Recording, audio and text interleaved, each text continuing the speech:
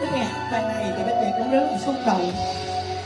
Vì mình cũng đã có một thời gian bỏ quên cha mẹ mình để chạy theo cơm áo gạo tiền.